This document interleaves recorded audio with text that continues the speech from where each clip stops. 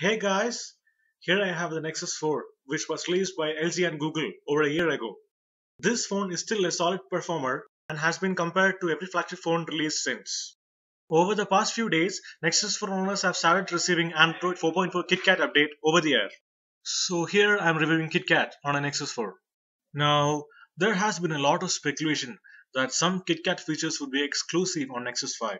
So in this video, I'd also like to talk about how different is the KitKat in N4 from that of the N5. Also, some people were kind of expecting that KitKat would enable the LTE radio on the Nexus 4, but that is not happening. Only two network modes, 2G and 3G are available.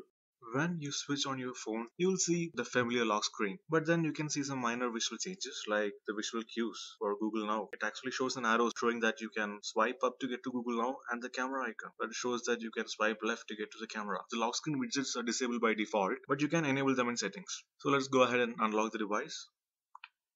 And hey, you have the good old launcher, which looks exactly the same as that of the Jelly Bean launcher. So yeah, it doesn't come pre-installed with the Google launcher, but we can install Google Launcher into this phone and it works quite well. We'll come to that. Let's go to settings and here as you can see it's Android version 4.4 and the build number is KRT16S that is the latest factory image available from Google.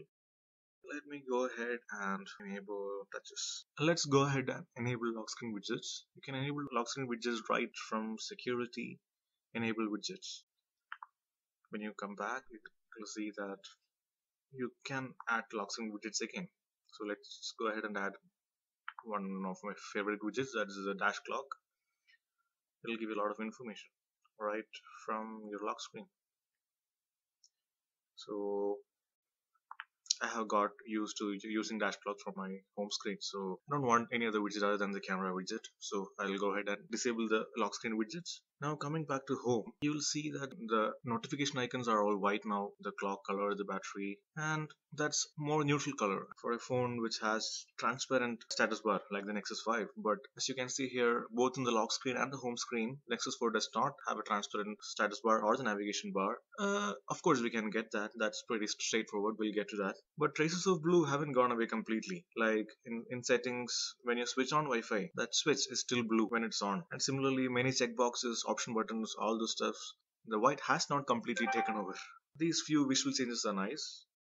A lot of people were wondering whether the default SMS app will be there in KitKat when it comes to other Nexus devices and yes the good old messaging app is still there but you can use hangouts as your default messaging app so this app is not really required you can see i have all my uh, messages in my hangouts application now. Uh, to confirm mobile number with one time sms coming to the camera the new hdr plus mode yeah it is there only for the nexus 5 in my humble opinion the camera does seem a little slower to start than jelly bean that must be causing many of the negative reviews about the camera which we saw in nexus 5 and hopefully google will update the camera software and make it better soon. And there's nothing new in the camera app here. For the photos we're stitching is better. As in the options which we have there is nothing more it's just the same old camera. But then we have got more editing options with KitKat in the uh, stock gallery app. We have much more options, more frames. We have more control over the stuff which we can do to our photos, like we see here. And apart from that, the stock gallery seems a bit redundant with the new Photos app, which basically integrates the Google Plus Photos to your phone. The Photos app, so it shows basically everything. You can see the folders here, all the folders which are present are shown. I don't know. This also has some editing features, but which is not the same as that of the stock gallery. So I don't know. Maybe things will get so sorted out soon. So I'm sure you guys know all about the new KitKat features. I'll just go through them quickly the new dialer is there which will show your most frequently contacted people and uh, smart caller id which is supposedly we going to have google plus integration so that you can see identity of unknown numbers which is taken from google plus. Apart from that there's a new location setting available which is also available from the quick setting tile. You can easily choose between three modes high accuracy battery saving and device only. Feels much better than the previous location options available. It, it also shows the recent location requests and location services which are on. There is a new immersive mode in which apps can request to hide the notification bar and the navigation bar. But the best thing that I like about that is that you can swipe from the top or bottom to get back the status bar and the navigation bar. This is one thing which I loved about many custom ROMs and which is there on Android by default now. That's really great. Let's go ahead and check out the immersion mode. So this is a new Easter egg here. This Easter egg is specifically designed to demonstrate the immersion mode. So you can see this Easter egg takes up the complete screen space. There you cannot see the navigation bar or the status bar. Let's go ahead and swipe from the top. Okay, it shows the navigation bar first always no matter where you swipe and then you see status bar you can see status bar here you can see navigation bar so this is kind of cool i really want to switch it for a long time and i'm loving this i use this all the time especially while playing full screen games you have the new printing settings where there is a global print service available. I find this useful especially for printing out pages into PDF. Like, let me go to a web page.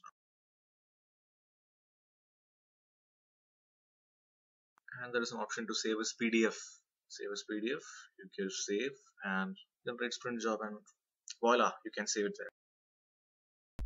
There is also this full screen album art available which looks gorgeous and which I feel should have been there from much before.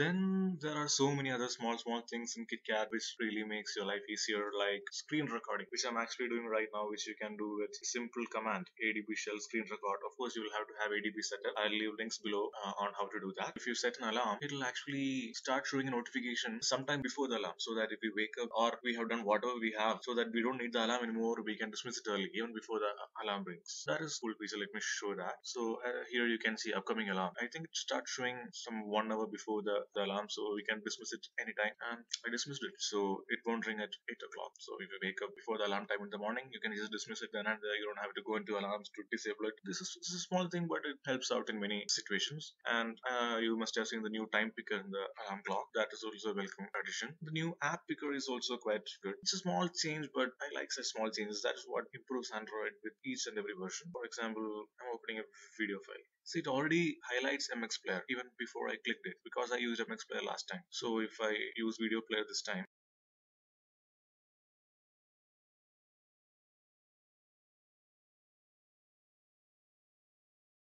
the next time I open another video, the video player will be there by default. So I can just press just once or always depending on what I want. So it saves one click, but this one click is saved so many times so that it becomes really significant. That is another thing. Then the recent app seems to be really seems to come up a bit faster and switching between apps is really good the status bar network indicator does not have the up and down arrows anymore. They used to show the network activity, but due to performance considerations, they have been moved into the quick settings. Here in the quick settings, you can see the up and down arrows. Let me load some page. Uh, so while loading the page, you will be able to see the up and down arrows. And the color of the network strength or the Wi-Fi strength will turn orange when it cannot connect to GCM. Usually that means there's problem to the internet connection. When the color is white, it's good to go. Android 4.4 KitKat has introduced a new runtime, which is called ART, which will probably replace Dalvik after after a few versions, but still in beta and still deep under the developer options. Speaking of which, we have a few new stuff in the developer options. One of them is selecting the runtime, switching to ART. ART is somewhat different from Dalvik in the sense it pre-compiles the APKs instead of the just-in-time compilation used by Dalvik, and app loaded times has already improved as shown in some tests in the other videos found in YouTube. But still, many apps are incompatible with ART, so I still can't switch to ART because many of the apps which I use on a daily basis are incompatible. Another thing in developer options is the process stats stats. You have geeky process stats available where you can see the processor usage, memory usage, etc. etc. So new stuff under developer options always nice to see. Now, getting Google Launcher is quite easy. All you have to do is install one APK if your Google search and Play services are updated uh, already, which will usually happen automatically. So basically, you just have to install one APK, and I have already installed that. I'll try to give a link below, and then just go to settings. Settings as a new item says home. If you have multiple launchers installed, we can easily select the default launcher from there. So this, as you can see, is the Google Launcher. I press home now, and yeah, there you have the Google Launcher. It has integrated Google Now. The leftmost pane is Google Now you must have seen it a lot already. And the okay google functionality really works. Let me try it out. Okay google. How is the weather?